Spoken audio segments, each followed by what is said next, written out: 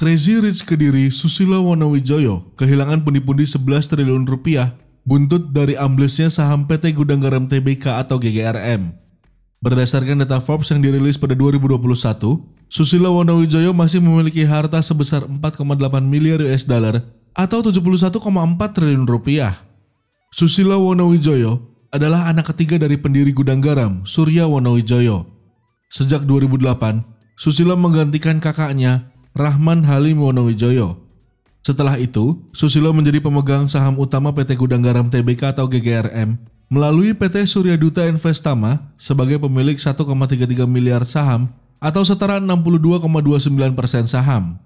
Tak hanya fokus di bisnis rokok, Susilo juga ada bisnis di sektor kelapa sawit melalui PT Matahari Kahuripan Indonesia atau Makin Group. Kemudian, GGRM juga berbisnis di bidang infrastruktur yaitu Bandara Doho di Kediri, Jawa Timur dengan nilai investasi mencapai 10,8 triliun rupiah.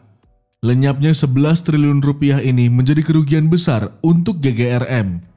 Sobat bisnis tahu bahwa uang sebanyak itu bisa membeli apa saja?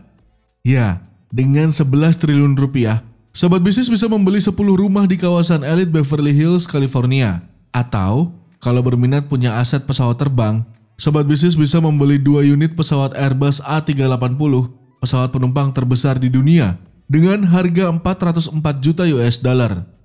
Nah, sisa uangnya atau sekitar 4 triliun rupiah bisa digunakan untuk bensin dan biaya hanggar.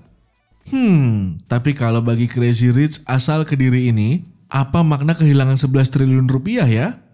Gimana menurut sobat bisnis? Kalau punya uang 11 triliun rupiah, mau buat beli apa?